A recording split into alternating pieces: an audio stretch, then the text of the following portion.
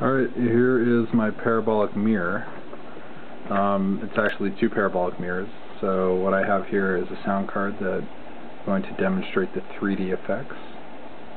If you saw that, basically it looks like it's popping out. So what we have going on here is we have a parabolic mirror that uh, what we're seeing is it's being reflected off this upper parabolic mirror. So you can see the reflection right here.